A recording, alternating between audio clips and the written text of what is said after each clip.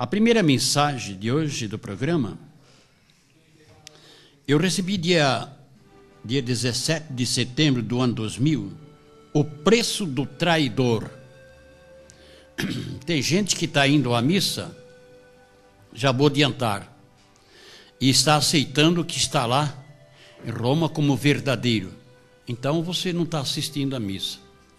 Porque se eu disser que é verdadeiro, então meu livro, eu estou desmentindo do meu próprio livro. Tá? Quem estiver agora me vendo e ouvindo.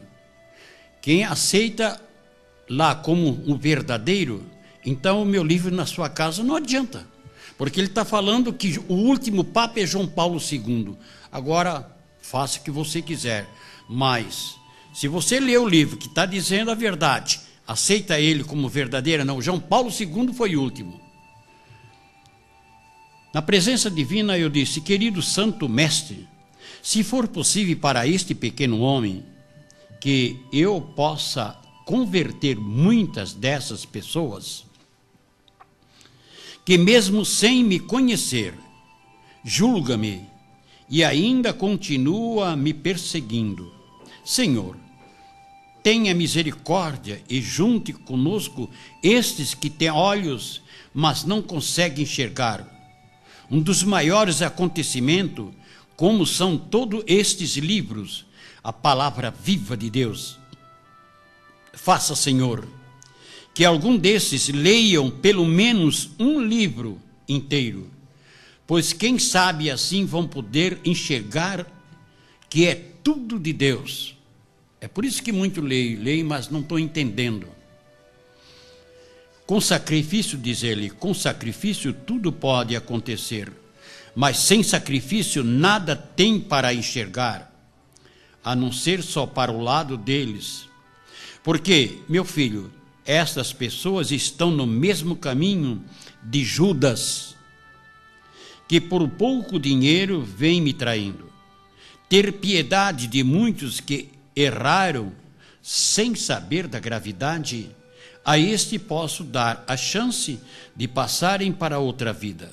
Mas os traidores, este terão o mesmo fim que Judas teve. O pecado, trair é o que mais pesa na balança da justiça divina. Meu filho, vejo-te sozinho neste momento, pedindo por esses que vêm te julgando, caindo fora e te traindo. Como posso deixar que essas pessoas possam estar a teu lado? Preciso muito de operário para este a última safra mas não devo por gente que pouco ama e que é mal agradecido. Muito desses, meu filho, já tirei de diversas situações ruins, até mesmo de doenças incuráveis para os médicos. E hoje estas mesmas pessoas falam mal de ti e como teve, até juiz que estava desenganado do médico e fala mal de mim. Não é de mim que parte este fracasso, e sim da própria pessoa. Judas achou justo em me trair. Então passei a ele toda a liberdade. Por isso que depois de trair-me, tirou a sua própria vida, e não eu. O mesmo irá acontecer com quem é traidor. Não serei eu a pedir que venha até a mim, mas o chamado é de meu inimigo. E lá se vão milhões de pessoas por dia para o inferno. Tudo isto, a maioria, é por causa do orgulho, da inveja e do dinheiro que por este vende até as suas próprias almas. Então, filho amado, Compreendeste agora? A justiça começa já a ser feita, onde a própria perdição vem da pessoa que não sabe perdoar, não sabe amar, não sabe repartir, não sabe, ah, não conhece a verdade e nem pode nem pode mais ouvir. Essa é a pior doença deste último século. É uma doença que não tem mais cura.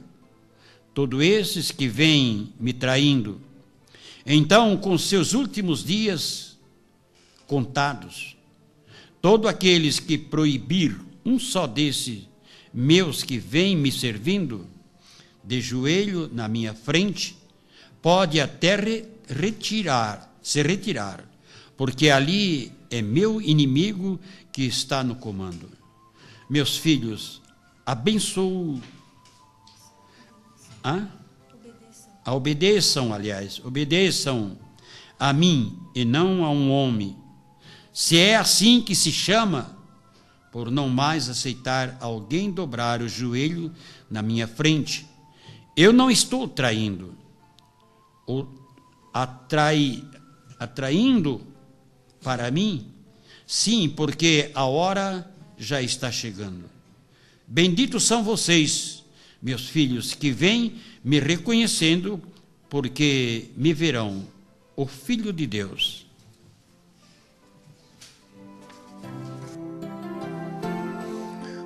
Palavra traição, traidor, trair, aparece dez vezes nesta mensagem.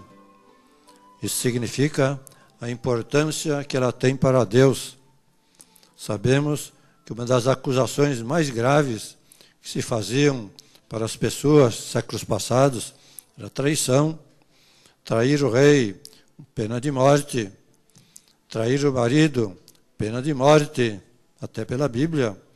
Trair a pátria, pena de morte. O rei da Inglaterra, Henrique VIII, mandou cortar a cabeça de várias rainhas acusadas de traição. Traição só na cabeça do rei. Mandou cortar a cabeça de seu ministro de Estado, Tomás Moro, acusado de traição. Tomás Moro preferiu obedecer ao Papa do que ao rei. O rei queria se divorciar da primeiro, primeira rainha, primeiro casamento válido. O Papa negou. Foi para a guilhotina, Thomas Moro. Mandou cortar a cabeça do arcebispo João Fischer, também por traição, pela mesma razão de Thomas Moro. Obedecer ao Papa, não ao rei. E aí se fundou a igreja anglicana. Se o Papa não quer, eu quero eu me transformo em papa da igreja anglicana, está tudo resolvido. Essa a paternidade dos anglicanos. Os cristãos antigos eram martirizados por serem considerados traidores dos deuses romanos, da vontade do imperador. Na China do século XVII, os cristãos eram marcados no rosto com a letra F, em inglês, felony, traição, porque obedeciam a um soberano estrangeiro, o Papa.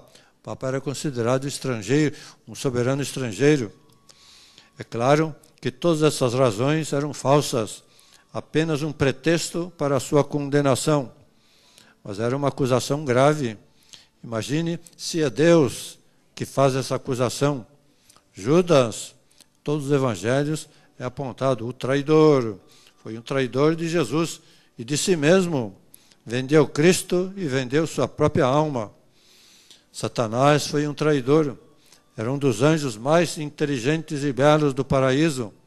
Quis o trono de Deus e de Cristo. O crime dos traidores dos reis. Aqui sim, isso é traição.